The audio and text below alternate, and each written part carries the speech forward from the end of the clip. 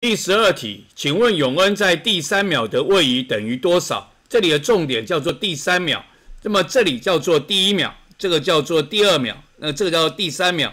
第三秒的时候开的始的时候是五，结束的时候是八，所以我们八减五，我们的位移是三公尺。所以第十二题问我们说，请问永恩在第三秒的位移等于多少？我们答案选的是 A，三公尺。